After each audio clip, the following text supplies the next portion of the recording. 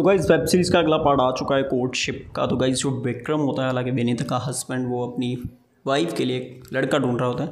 दरअसल उनका जो डाइवोर्स होना होता है, उसी सिलसिले में वो लड़का देख रहा होता है। और उनके एक ऑफ़िस में एक असिस्टेंट मैनेजर है जिसका नाम गाइस सनी होता है। हालाँकि वो सनी को सब मतलब वैसा कुछ देख लेता है एंड वो उसके लिए उसे पसंद कर लेता है। जब वो घर पर जाके बताता है बेनीता को कि मैंने एक लड़का देख लिया जो कि मेरे ऑफ़िस में है एंड वो खुश भी हो जाती है।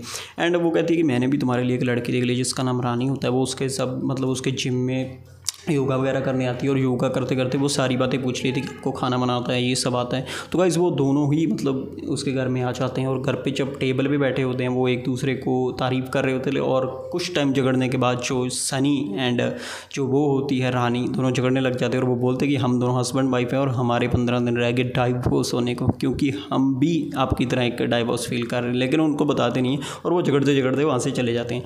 तो गाइज़ फिर वहनीता बोलती है कि इससे अच्छे तो हमें, हालाँकि हम इतना ज़्यादा तो नहीं दे इसके बाद गाइस हमें इन दोनों के हॉट सीन्स देखने को मिलेंगे। उसके बाद गाइस कोर्ट का सीन देखने को मिलेगा और जो लॉ जज होता है, वो वकील को पूछता है कि अब तुम मेरे पास क्या लेने हैं? वो बोलता है कि एक नया केस आया हालाँकि का आगे क्या, कौन सा लोगों का मतलब कौन सा हस्बैंड वाइफ है, किसको लेके आ रहे हैं? अभी कोई डिस्क्लोज नहीं हुआ है, कुछ पता नहीं गाइस शायद इसका अगला पार्ट है, इसके अगले पार्ट में हमें देखने को मिलेगी कि नेक्स्ट क्लाइंट कौन सा है, इसी के साथ का इस वेब सीरीज़ का एंडिंग सीन भी हमें देखने को मिलेगा, आप इसे जाकर देख सकते हो, अगर आपको देखनी है तो गाइस कुकू ऐप पर तो गाइस कुकू ऐप की वेब सीरीज़ वेब सीरीज़ का नाम है कोर्टशिप मिलते हैं गाइस कोई अगली वीडियो या फिर अगले कोई वेब सीरीज़ के एक्सप्लेनेशन में।